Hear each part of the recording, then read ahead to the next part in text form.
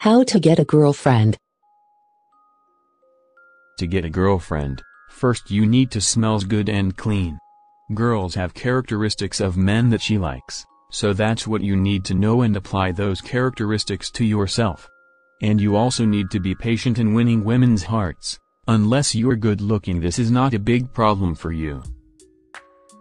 Only 11.7% of viewers subscribe to this channel. Let's increase that number by clicking that subscribe and like button. It's free and helps this channel a lot.